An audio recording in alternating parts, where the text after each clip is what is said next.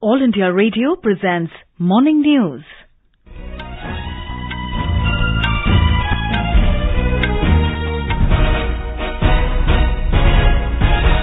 Good morning. I am Sarabjit Kaur and with me is Saira Mujtaba. The headlines. Prime Minister Narendra Modi to address 18th convocation of Tezpur University in Assam this morning.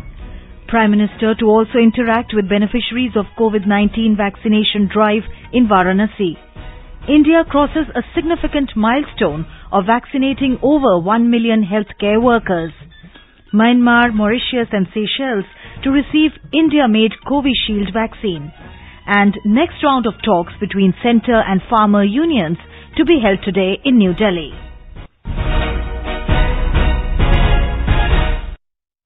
As the nation fights the COVID-19 pandemic, we begin the bulletin with a message of precaution to stay safe and protected by following these three simple steps. Wear a face mask, maintain do ki duri for social distancing, focus on hand and face hygiene. Now the news. Prime Minister Narendra Modi will address the 18th convocation of Tezpur University, Assam at 10.30 am today through video conferencing. Assam Governor Professor Jagdish Mukhi, Chief Minister Sarbanand Sonowal and Union Education Minister Dr. Ramesh Pokhriyal Nishank will also be present on the occasion. The event will witness the conferring of degrees and diplomas upon students who passed out in 2020. More details from our Guwahati correspondent.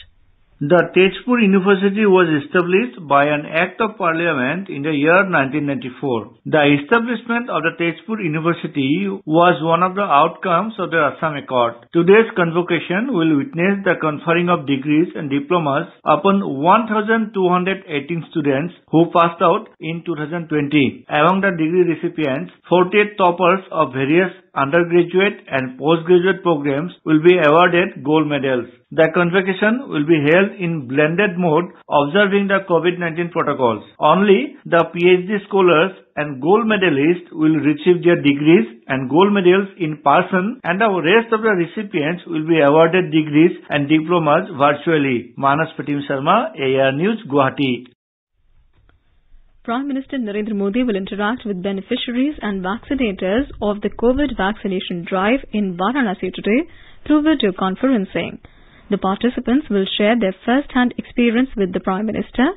The interaction follows a continuous dialogue and discussion by the Prime Minister with scientists, political leaders, officials and other stakeholders to proactively ensure the smooth conduct of the world's largest vaccination drive. India has crossed a significant milestone of vaccinating more than 1 million healthcare workers with over 2,33,000 getting their first dose yesterday itself. In a tweet, the Health Ministry said 10,40,014 healthcare workers have been vaccinated so far in the country.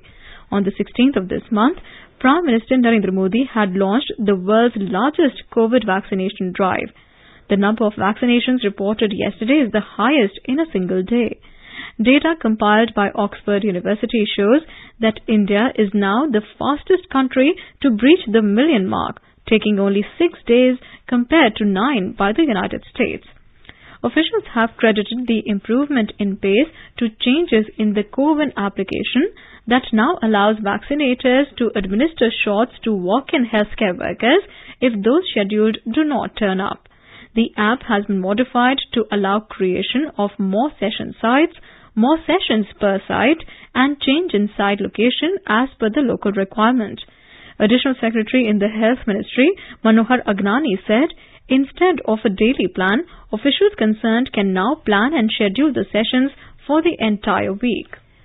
Health and Family Welfare Minister Dr. Harshvardhan has said COVID-19 vaccines are completely safe and effective and these vaccines will prove to be the last nail in the coffin of COVID-19 disease. While releasing the communication creative prepared by the Health and Family Welfare Ministry to address issues related to vaccine hesitancy, Dr. Harshvardhan said, adverse events or side effects are common and they surface after any vaccination. He stressed that two indigenous vaccines have been authorized after sufficient scientific scrutiny, human trials and after identifying their efficacy. He said several countries are approaching India to export these vaccines to their country. Urging the need to counter the misinformation about the COVID-19 vaccines, the minister said vaccines have played a critical role in the past in controlling various diseases like chickenpox and polio. He said it is unfortunate that some people are spreading misinformation about the vaccines which has developed vaccine hesitancy in a few people. समाज में जो लोग vaccine के खिलाफ भ्रांतियाँ, गलत जानकारियाँ और गलत फहमियाँ फैला रहे हैं, उनकी जानकारियों को हर तरीके से इग्नोर करके हमको सबको मिलकर वैक्सीन को अपनी और समाज की कोविड के खिलाफ बेहतर सुरक्षा के लिए इस्तेमाल करना ज़रूरी है। बड़े बड़े देश के डॉक्टरों ने वैक्सीन ली और उसके तुरंत बाद जाकर अपना काम करना शुरू कर दिया बिना किसी साइड इफ़ेक्ट के। ये अपने आप में इस बात को प्रमाणित और पुष्टि करता है कि ये वैक्सीन पूरी तरह से सेफ़ और इफ़ेक्टिव हैं। In Uttar Pradesh, COVID vaccination is being carried out as per the guidelines of the centre. Remaining healthcare workers will be vaccinated today. Government has fixed two days, Thursday and Friday, for vaccination in the state. Preparations for administering the second dose of vaccine to the healthcare workers on 15th of February is in full swing. More details from our Lucknow correspondent.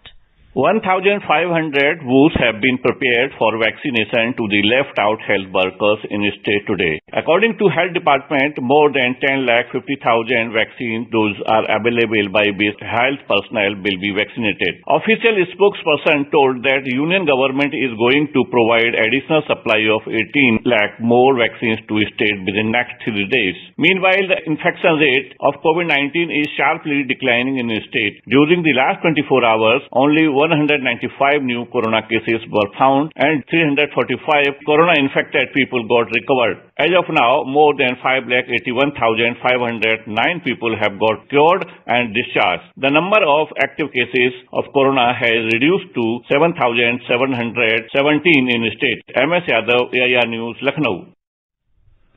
In Bihar, 63,032 healthcare workers have been vaccinated for COVID-19. Health Minister Mangal Pandey said to further enhance the turnout, changes in the CoWIN software have been made to allow the health department to take new beneficiaries against the absentees. The state government has started registering frontline workers on CoWIN digital portal for the second phase of the vaccination drive. In Madhya Pradesh, over 38,600 people were vaccinated so far. More details from our Bhopal correspondent. COVID vaccination is being done smoothly in the state. Around 10,500 people were vaccinated on Thursday at 140 centers across the state. State Health Department officials have informed that adequate doses of COVID vaccine is available in vaccination centers. Earlier, state received 5,06,000 doses. Now, in addition to this, 4,31,000 more doses have been received in the state. Meanwhile, the COVID positivity rate is consistently declining in the state. Yesterday, it was 1.2%. 300 101 new positive cases were reported on Thursday, while 704 patients recovered from COVID infection. Pooja Pivardhan, AIR News, Bhopal. In Gujarat, the fresh cases of COVID-19 are constantly declining. The recovery rate has further improved to 96.17%. Our Ahmedabad correspondent reports that the vaccination drive is running smoothly in the state. In Gujarat, 12,487 persons have been given COVID-19 vaccine yesterday. With this, the total persons received the COVID-19 vaccine have reached up to 35,951 till now. Meanwhile, Gujarat has recorded 471 new cases of COVID-19 infection. The total number of COVID-19 cases detected so far in Gujarat has reached up to 2,57,513. Out of this, 2,47,950 persons recovered. 700 127 patients discharged from the hospitals after recovery during the last 24 hours. Maximum 95 new cases reported from Ahmedabad, while Surat recorded 91 new cases. At present, total active cases in the state are 5,491, out of which 52 patients are on ventilator. Yogesh Pandya, AIR News, Ahmedabad. In Karnataka, 17,190 healthcare workers were vaccinated in 352 sessions held on the sixth day yesterday. It is 52% of the targeted beneficiaries of 32,773. More details from our Bengaluru correspondent. In Karnataka, 1,34,597 healthcare workers are vaccinated in 2,844 sessions held till date against the targeted beneficiaries of 2,36,812. This is 57% of the total coverage. Bengaluru Urban recorded the highest number of vaccination with 5,656 beneficiaries, followed by Belagavi with 2,901 and Dakshina Kannada with 1,505. Meanwhile, the state reported 674 new COVID-19 positive cases, 815 recoveries and 2 deaths during the last 24 hours. The state positivity rate is 0.75%, recovery rate is 97.8% and the fatality rate is 0.29%. R. Murthy, AIR News, Bengaluru.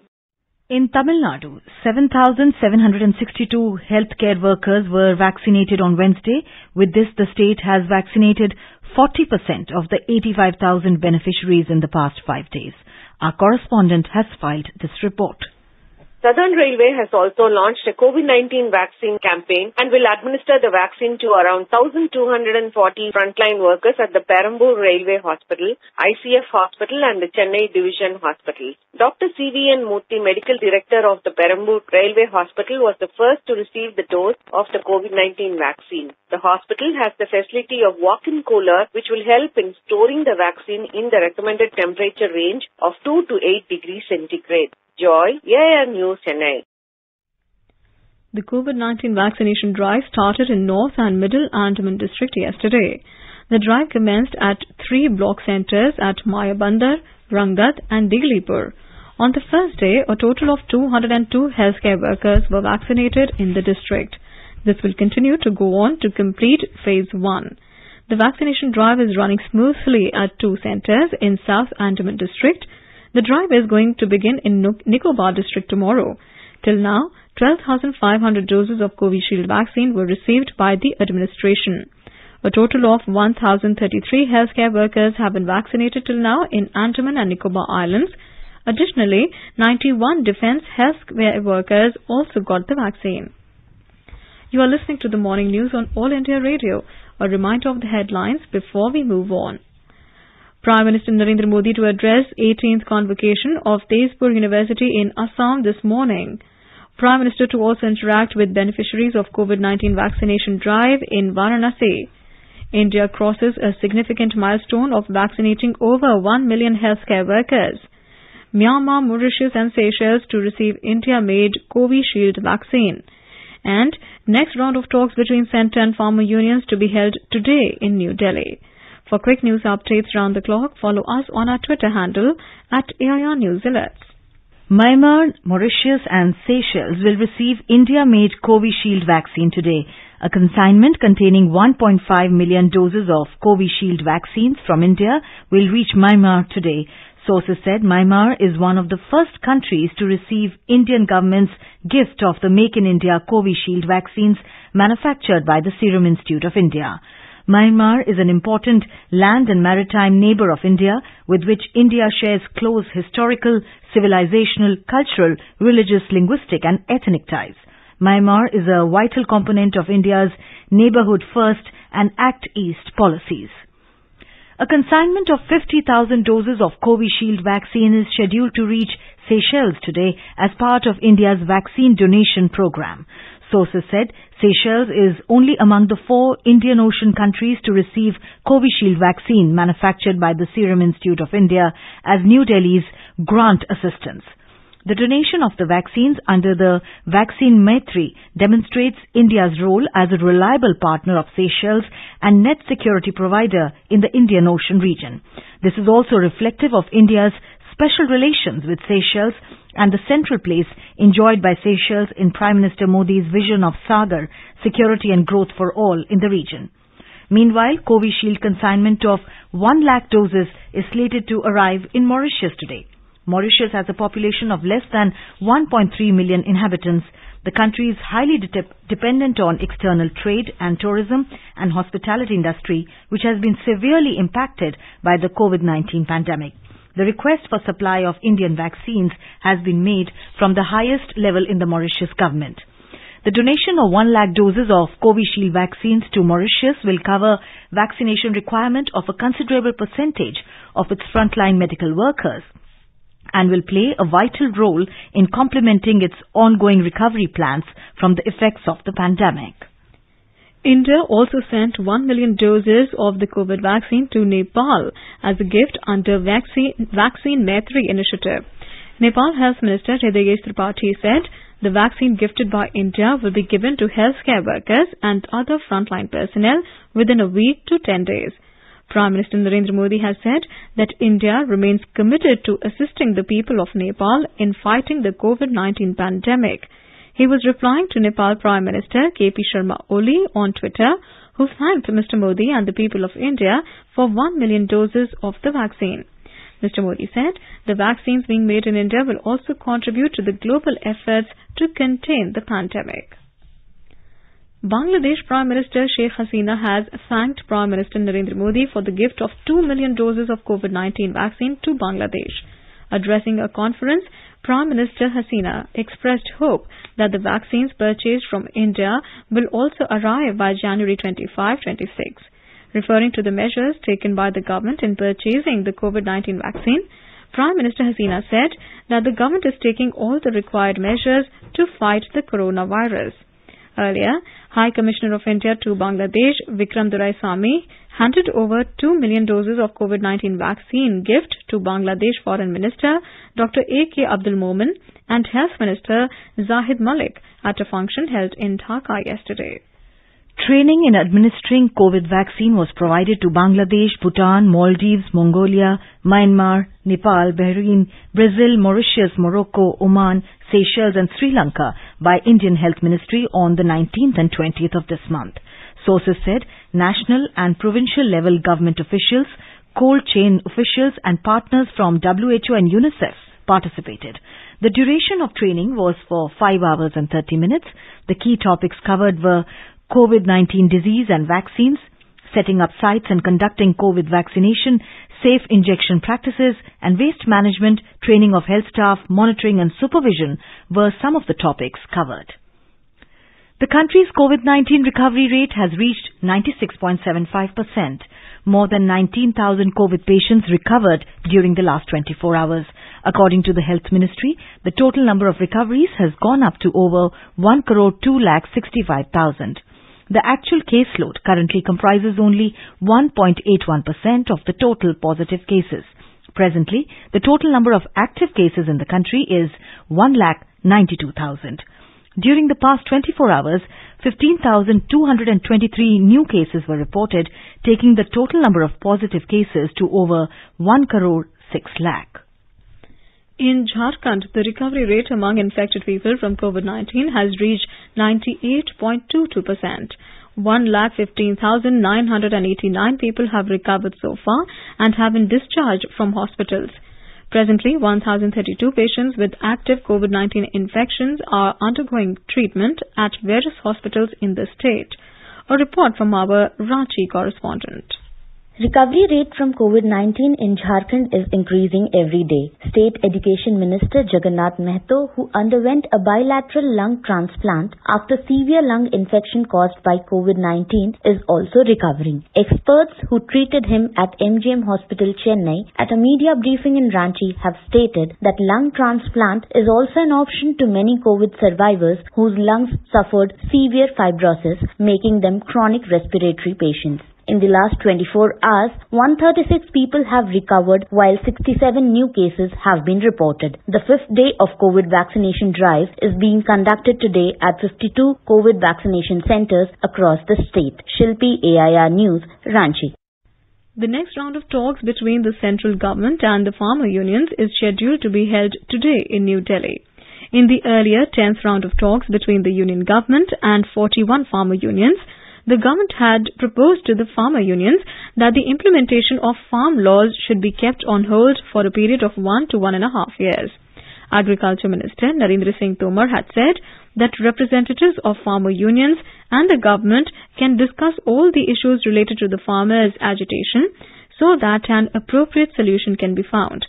However, after the Samyukt Kisan Morcha meeting held yesterday, farmer unions had said that the farmers are still sticking to their demands and no proposal of the government will be considered until the government abolishes the farm laws. Earlier, the Agriculture Minister reiterated that the farm laws are going to bring about a revolutionary change in the life of the farmers and in the agriculture sector. He said the government is committed to protecting the welfare of the farmers and no one can take the farmers' land away from them.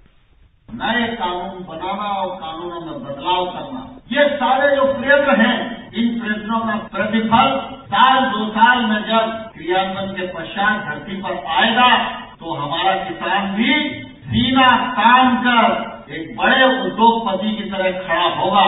और ये कह सकने में सक्षम होगा कि अगर उद्योग का जीडीपी में बड़ा योगदान है खेती और किसानी का भी है। In West Bengal, opposition parties have urged the Election Commission of India to deploy central forces well in advance in the state to impart confidence among voters and to correct the erroneous voter list. Representatives of 10 recognized political parties met the full bench of the ECI who are on a visit to the state. After the meeting, West Bengal BJP President Dilip Ghosh told reporters that they have asked the commission to take necessary steps to make the poll process free, fair and peaceful. He alleged that names of at least 5 lakh Rohingyas have been included in the voter list, which needs to be dropped. Left and Congress leaders have expressed their concern regarding the voter list and asked the Chief Election Commissioner to instruct the officials to rectify it. Meanwhile, the ECI is said to have expressed dissatisfaction regarding the law and order situation in the state. Sources said in the meeting with the ADG Law and Order this morning, the CEC has clearly instructed to take all necessary measures to ensure free, fair and peaceful election in Bengal. India has expressed shock at the unfortunate loss of lives of three Indian fishermen and one Sri Lankan national following a collision between their vessel and a Sri Lankan naval craft. External Affairs Ministry said India's strong protest in regard to this incident was conveyed by the Indian High Commissioner to the Sri Lankan Foreign Minister yesterday. A strong démarche was also made to the Sri Lankan Acting High Commissioner in New Delhi. India emphasized the need to deal with issues pertaining to fishermen in a humanitarian manner. New Delhi said existing understandings between the two governments in this regard must be strictly observed and utmost efforts should be made to ensure that there is no such recurrence. India has been among the first countries to establish diplomatic ties with the Federal Republic of Germany after the Second World War. Bilateral relations between the two countries are founded on common democratic principles marked by a high degree of trust and mutual respect. In an exclusive interview with AIR News, Walter J. Lindner, the German ambassador to India, shared his insights on India-Germany relations. He expressed strong support for India in its bid for a permanent seat in a reformed UN Security Council. United Nations, it was formed in 1948, just right after the Second World War. So the reality, it reflects the situation in 1948. Those were the victorious powers at the time. But still, in the Security Council, there is no African country, there is no Latin American country, there is no India. So this is totally unacceptable. A country with 1.4 billion people not being in the Security Council, this is not possible. The membership of the Security Council is restricted to five permanent members. We thought the credibility of the United Nations endangered if we don't reform it rapidly. The complete interview can be heard in World News tonight on FM Gold Channel and additional frequencies from 10:30 p.m. In the ongoing IFFI at Panaji, many points about the finer components of movies are discussed in virtual sessions. One such aspect was cinema and music. We have more details from our correspondent. Bharat हमको जान से प्यारा है सबसे न्यारा Music maestro Hariharan expressed his views on music and movies in a poetic manner. He opined that when there is a marriage of cinema and music, all senses are appealed to. Cinema in India is highly influenced by theatre filled with music and dance. He added that music in contemporary films has changed, so has the society. Commenting on the evolution of music in Indian cinema, percussion expert Vikram Ghosh said that when we gained independence, there was an accentuation on being Indian in the films of that era. Hence, the audience was given a trajectory of Indianness by means of Indian classical music. He added that region-based cinema gives the music directors a chance to portray a slice of that land. With Mukesh Thali, Tushar Jadhav for AIR News, Panji, Goa.